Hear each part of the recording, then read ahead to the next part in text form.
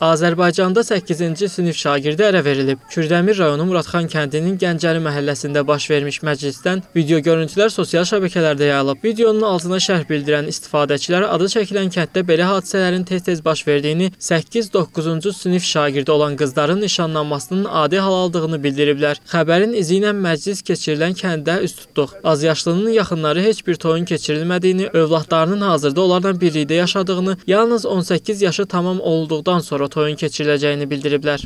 Elə çöldə olmuşdum. Gəldim, gördüm həyətdə adam var. Dedim, bu nə yığıncaqdı? Dedi ki, böyle qızı belə adaqlayırlar da, yəni ki, nişanlayırlar belə. E, mən də dedim ki, bu yaş vaxtdır bana, bu hələ bu getmək vaxtıdır.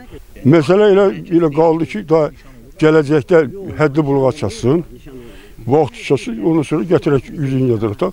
Elə belə yığılmışdılar bura. Məsələ dərhal Kürdəmir rayon icra hakimiyyəti yanında yetkinlik yaşına çatmayanların işləri və hüquqlarının müdafiəsi üzrə komissiya, eləcə də rayon polis şöbəsinin nəzarətinə götürülüb və faktın araşdırılmasına başlanılıb. Məlum hadisə ilə əlaqədar e, Kürdəmir rayon icra hakimiyyəti yanında yetkinlik yaşına çatmayanların işləri və hüquqlarının müdafiəsi üzrə komissiya olaraq məsələni araşdırdıq.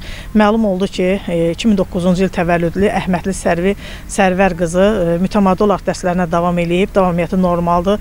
Bu gün də azyaşlı e, dərslərində iştirak eləyib. Adiyyəti qurumlar da yayılan xəbərlərin həqiqəti əks etdirmədiyini bildirir. Daxili İşlər Nazirliyinin mətbuat xidmətinin Şirvan regional qrupundan verilən məlumata görə faktla bağlı Kürdəmir rayon polis şöbəsinin əməkdaşları tərəfindən bütün tədbirlər icra olunub. Araşdırmalar zamanı qızın 14 yaşının olduğu məlum olub. Polis əməkdaşları yeniyetmənin valideynləri ilə izah edici söhbətlər aparıblar və qeyd olunan halın hüquqa zidd olması onların diqqətinə çatdırılıb. Daxili İşlər Nazirliyindən bildirilib ki, bundan əlavə yeniyetmənin qanunvericiliyə uyğun olaraq təhsilinə davam etməsinə və dərsə davam etməsinə mütəmadi olaraq nəzarət olunacaq. Zahid Abuşov, Devran Əskərov, Orxan Aslan, APA TV.